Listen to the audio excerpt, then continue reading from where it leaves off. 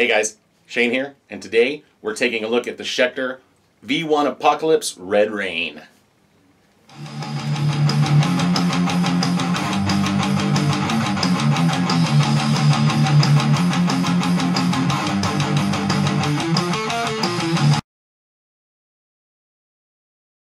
All right, so here it is. This is the Red Reign finish Apocalypse series V1 from Schecter. This guitar is a swamp ash body with a five piece maple and padauk neck. Has your Schecter locker, locking tuners, an ebony fretboard with Roman numeral inlays, which look really cool. It also has glow in the dark side, uh, side markers. This guitar has the USA Apocalypse pickups in it, a TonePros Tune-o-matic string through bridge, has a push pull tone to split the coils, a three way switch, and your volume knob. The veneer top is got a really really classy looking black binding that runs all the way down all the way around the guitar with the matching headstock. It looks awesome. Let's see how it sounds.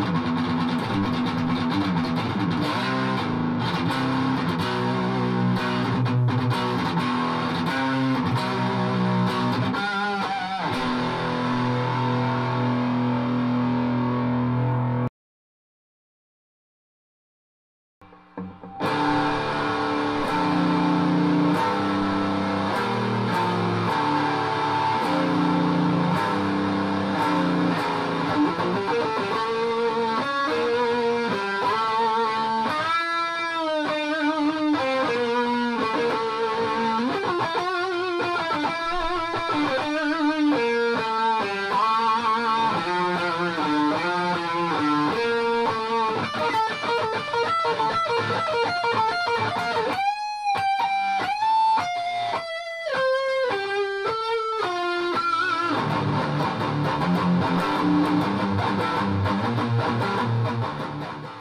right, so there you have it. I'm really, really impressed with this guitar.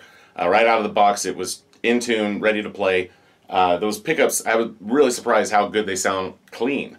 Uh, it's got a lot of low end, sounded really, really dark and and uh, meaty. Definitely will fit for the type of music that I play. This, in fact, guitar will be my new main Fortress United guitar. So make sure you guys come check us out live if you can. Um, I don't know that I have any real complaints. Uh, the crunch and the leads sounded really good to me. I don't know if I would ever split the coils. I don't know that that sounded really great to me, but for the type of music I play, I don't know why I'd ever need to do that. Um, but there you have it. That's our look at the Schecter V1 Apocalypse Red Reign. Hope you guys enjoyed this look at that guitar. Remember, you don't have to be a prodigy to have fun. I'll check you guys out next time.